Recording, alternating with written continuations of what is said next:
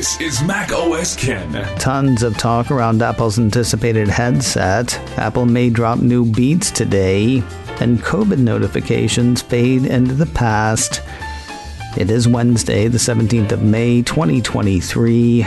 I'm Ken Ray, and this is news from macOS Ken brought to you by yours truly and sponsored by Factor, America's number one ready to eat meal kit. Use code MacOSKen50 at factormeals.com slash MacOSKen50 for 50% off your first box. This show is also supported by people like you, patrons through Patreon Find out more and add your support at patreon.com slash macosken. It would be incorrect to say that Apple has opened the floodgates on its AR VR headset plans, but the Cupertino company may have turned up the gain on the chatter. Sources as wide ranging as the Wall Street Journal, the guy who founded Oculus, and some guy I know all hit toward the end of last week or over the weekend with such chatter. The report from the Wall Street Journal was long and strong and down to get the headset talk on. Boiling it down to almost nothing, the journal's subheader said Apple's soon to be revealed mixed reality device will likely cost $3,000, requires a separate battery pack, and is still experimental. That separate battery pack thing is still hard to believe. At the same time, we're hearing it so much, it's kind of slipping into the realm of totally accepted. I'm really hoping everybody is wrong about that, but eh, we'll see. Whittling away at expectations from the journal piece, the device will be shown off at WWDC, according to the paper. Adoption is expected to be slow compared to iPhone and Apple Watch. Most people going for round one of the device won't get it until the fall at the earliest. It is expected to cost around $3,000. And the battery pack is a concession Apple is making because it wants into the market now, not when it has the device perfected. While it's not naysaying exactly, the report does not paint an easy picture for Apple's headset.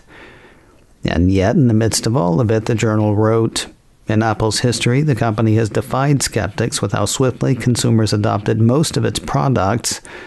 The market for digital music players before the iPod was small. Smartphones were still clunky with physical keyboards before the iPhone. Before the Apple Watch, wearables were a nascent category with limited appeal to people outside of the tech industry. In each of those categories, Apple's entry vastly expanded the markets.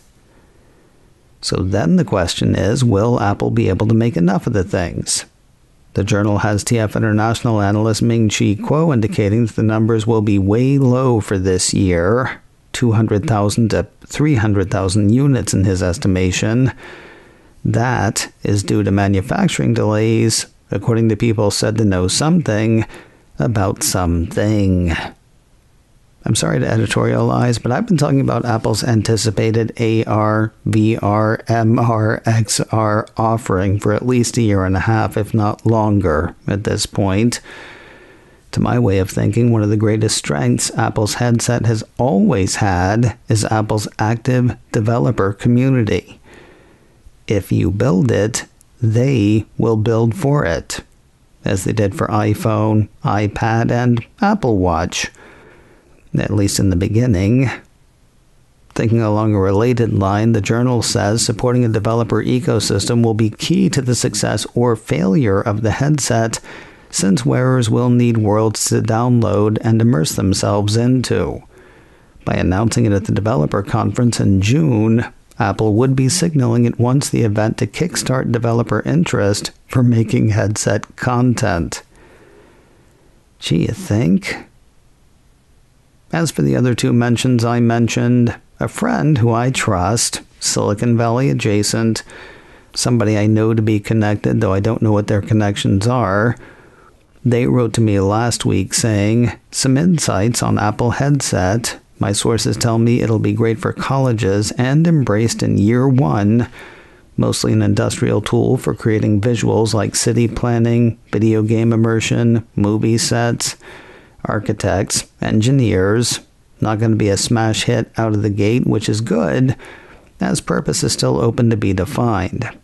USC Film School and even some high schools are making augmented and virtual curriculum, and nothing fills that hole.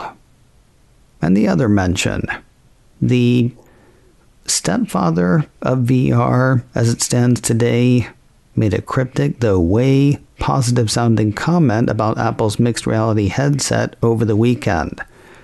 Apple Insider had Oculus founder Palmer Luckey posting one sentence about Apple's much anticipated device on Sunday.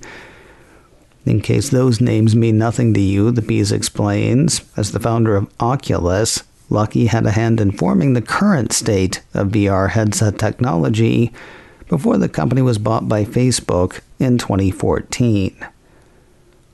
I used an Oculus Rift for a while. Personally, I found it clunky partly because it had to be connected to a computer, and partly because the computer it had to be connected to was a Windows machine. That said, I had some truly immersive and mind blowing moments with the Oculus Rift. And what does the guy who made that have to say about Apple's AR VR thing? In a very short post on Twitter, Luckey said simply, The Apple headset is so good.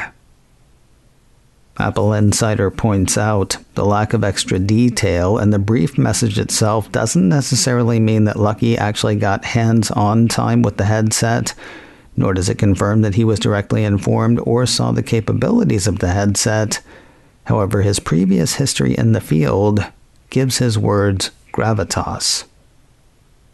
Sounds like controlled leaks, doesn't it? Don't say you heard it from me, but say you heard it kind of stuff. Info kept rolling as the week began. On Monday, TF International analyst Ming Chi Kuo took to Medium with his latest takes, running down some of those. He thinks the thing will be demoed at WWDC and that Apple is well prepared for the announcement of this new device. He thinks companies in the headset supply chain will make bank, and he thinks the headset device will soon become the most important new investment trend in the consumer electronics sector if Apple's AR MR headset announcement is better than expected. It's hard to tell from that whether he means that statement for headsets in general or for components meant for Apple's device specifically. The report earlier from the Wall Street Journal said some in tech expect Apple's headset to lift the entire market for metaverse products. Now, if you want more than hints and hopes around an Apple headset announcement, stop reading the tea leaves and start reading trademark filings. Apple Insider has found four, two in New Zealand and two in Singapore, each pointing to Apple's mixed reality future.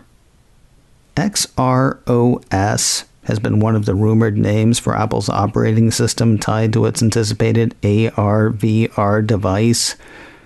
According to the Apple Insider piece, an LLC thought to be a shell company for Apple has filed for trademarks covering lowercase xr, uppercase os, and XROS all caps in the aforementioned countries. All four applications show as pending in both Singapore and New Zealand. And now we wait, as at least some of us have for the past year and a half or more. Apple's headset is expected to be the centerpiece of this year's Worldwide Developer Conference keynote. WWDC kicks off on Monday, the 5th of June. More news in a moment, but first a word from Factor, America's number one ready to eat meal kit and sponsor of today's show. We are rolling into summer. It's getting warmer. There's more to do outside. Not a lot more time, though. How much of that do you want to spend in the kitchen? With Factor, you'll save time, eat well, and get to the things you want to do. Factor offers delicious options every week to fit a variety of lifestyles.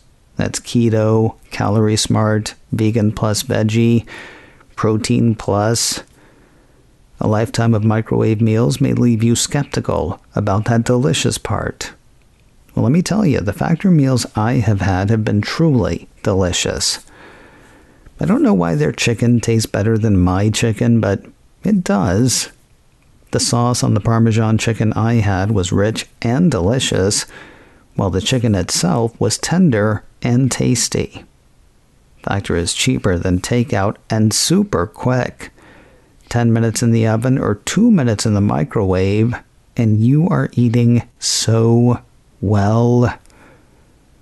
Head to factormeals.com slash macosken50 and use code macosken50 to get 50% off your first box. That's code macosken50 at factormeals.com slash macosken50 to get 50% off your first box. See what's made Factor America's number one ready to eat meal kit. Get 50% off your first box with code macosken50 at factormeals.com slash macosken50. 50. Apple may have new hardware out today. Remember those transparent Beats Studio Buds Plus we talked about a few weeks back? The ones that appeared on and disappeared from Amazon at the end of April? They made another surprise appearance over the weekend. On Saturday, a piece from Mac Rumor said a box of the stoppers had turned up at a Best Buy. The piece pointed out that Beats had not yet announced the new earbuds, though they may have done so by the time you hear this. A separate piece from Mac Rumors spotted a teaser tweet from Beats on Tuesday that had a stylized video of what appeared to be a translucent case for a pair of earbuds. It also had the words, Tomorrow at 7 a.m. PT. It had those words yesterday, so you know, new Beat Studio Buds Plus seem likely to make the scene this morning. If you're on the fence about the Apple TV soccer thing, you can take a free month to get to know it better. Engadget ran a piece over the weekend saying there is a one month free trial of MLS Season Pass on Apple TV available now. According to the offer site, the deal is valid only where MLS Season Pass monthly subscription is available. It's open to new and qualified returning subscribers. It requires an Apple ID with payment method on file.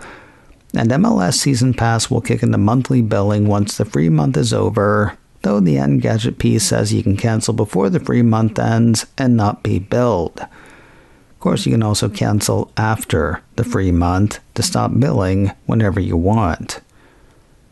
Now, I'm kind of curious who's behind this.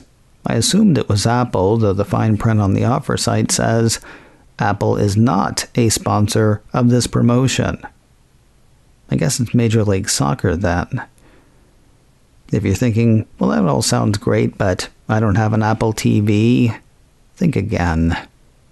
Engadget reminds readers you can also install the Apple TV app on Roku devices, PlayStation and Xbox consoles, Chromecast, Amazon Fire devices, Android TV, cable streaming boxes, including those from Comcast and Verizon, and smart TVs from Samsung, Vizio, Sony, LG, and Panasonic. It's also on iPhones, iPads, Macs, and Yes, Apple TV devices as well. And finally, today, late January 2020 was the first time I mentioned coronavirus on this show. Wasn't even called COVID 19 then, I don't think. Well, you probably got the notification I'm going to tell you about. It would feel weird to have it pass without mention. On Thursday evening, set a piece Friday from 9 to 5 Mac iPhone users around the US began receiving push notifications on their devices saying that their health authority had turned off exposure notification support. Your iPhone is no longer logging nearby devices and will not be able to notify you of possible exposures, Apple said to those users. Now, those messages went up and out on the same day that the U.S. declared an end to the COVID 19 public health emergency. It's unclear if this change is directly tied to the end of the COVID 19 public health emergency, according to 9 to 5 Mac, but it'd be kind of coincidental if it wasn't, wouldn't it? They were turned on on a state by state basis. I guess it's possible they're being turned off that way as well. While the Apple Google contact tracing app did not get the level of adoption for which the companies might have hoped, 9 to 5 Mac says, from a pure engineering and technological standpoint, the exposure notifications technology was incredibly impressive. Watching Apple and Google team up to develop the system in the early days of the pandemic in 2020 was incredibly inspiring. I gotta say, it feels like more happened in the two days I missed this week than in the full week I was away in April. Not complaining, just explaining. We'll see what we can do about catching up as the week goes on. macOS Ken, brought to you by me and sponsored by Factor, America's number one ready to eat meal kit. Use code MacOSKen50 at factormeals.com slash MacOSKen50 for 50% off your first box. This show is also supported by people like you, patrons through Patreon. Find out more and add your support at patreon.com slash macosken. Advertising handled by Backbeat Media, online at backbeatmedia.com you can reach me a couple of ways info at macosken.com or call 716 780 4080. Until next time, that is news from macOS Ken. I'm Ken Ray.